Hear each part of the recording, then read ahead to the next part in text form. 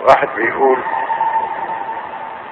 أنا في حالة عاطفية باحدى زميلاتي وهي تبادلني نفس الشعور ونود أن نتزوج. وكل مؤهلات الزواج متوفرة من نطق وقدرة على تحمل المسؤولية إلى آخره ما عدا الماديات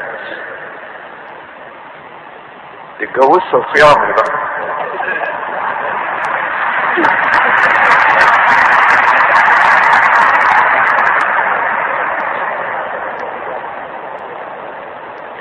بيقول حاولت السفر إلى الخارج ولكن فشلت كل محاولاتي فالآن نحن نريد الزواج ولكن المشكلة هي الماديات. يا ريت تبعتوا كل الماديات بالظبط إيه اللي تنقصكم وان كنا نساعدكم ساعدكم.